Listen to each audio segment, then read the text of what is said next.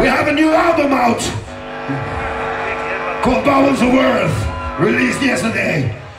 If it's, it's okay if we play one song, a new song. And this one of our boys, we'll see one. This one called Torment Remains.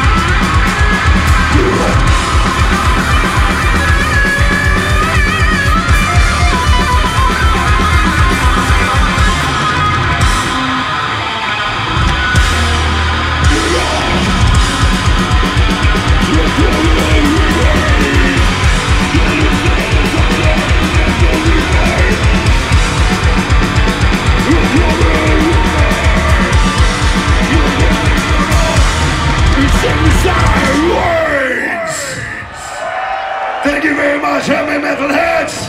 I'm out.